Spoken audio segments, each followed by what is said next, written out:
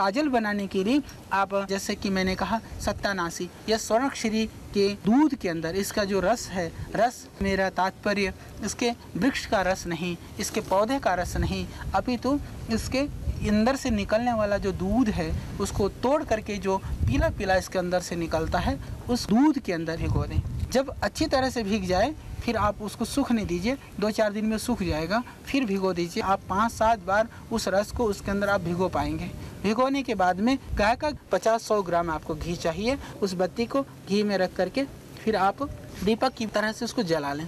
जलने के बाद में एक बर्तन उसके ऊपर रख दें। थोड़ी सी ऊंचाई पर लगभग चार छः इंच की ऊंचाई पर उसको रख दें तो धीरे धीरे उससे काजल तैयार हो जाएगी। आप ज़रूर इस काजल का प्रयोग करिए।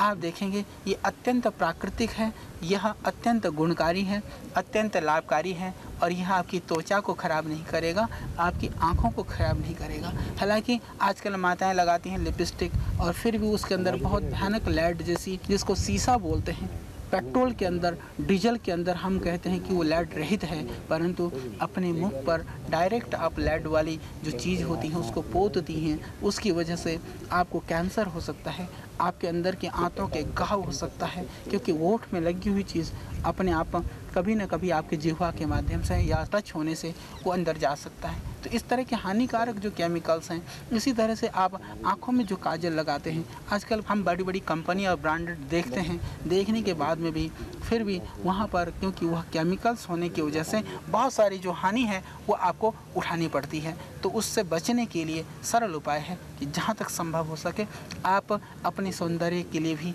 अपनी सुंदरता के लिए भी प्राकृतिक उपायों को आश्रय दें, ये बहुत ज़रूरी है। तो अब हम आज आपको सुंदरता के लिए, आपके लिए लाभकारी बात कर रहे हैं काजल के विषय में।